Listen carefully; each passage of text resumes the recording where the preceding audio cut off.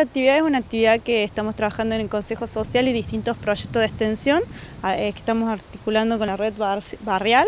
Em, la idea es hacer un taller de capacitación para huertas agroecológicas donde van a trabajar las distintas especies, reconocimiento de plantines y la realización de algunas diferentes plantines eh, para la temporada primavera-verano.